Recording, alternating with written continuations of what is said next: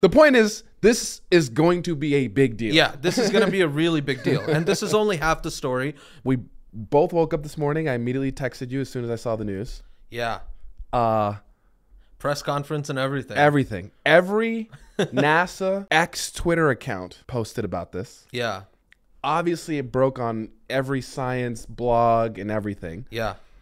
because we've sort of had some evidence, but we wanted to make sure, and NASA felt it was good enough Yeah. to now have the acting administrator of NASA, Sean Duffy, uh, come out and do a victory lap Mm-hmm. that we we we might have got him. Yeah. Um it is what they're characterizing as a potential biosignature. Ah, Okay? potential. And um not a full biosignature. In order to actually really nail it down, what we're going to need is the sample to come back to Earth. Fair. Um so this is the Jezero crater. yes. Um, Perseverance was parked right on the outskirts. Did a little bit of traversing around there, and then it went down this valley, down this river valley towards the crater. And right over there is something that's really nice because you've got this sedimentary rock on the western edge of this crater.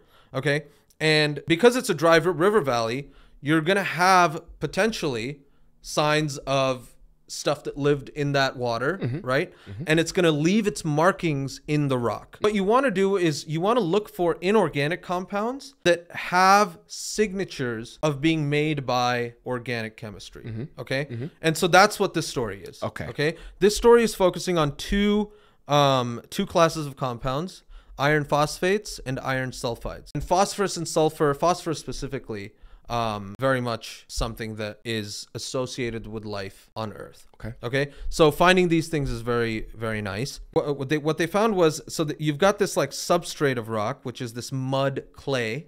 Okay. It's got a lot of iron, and then you have these like little they they call them poppy seeds and leopard spots. Okay. They're like little tiny like beads Yeah. of stuff. Um, I get it. And the gradient of carbon Yeah, yeah.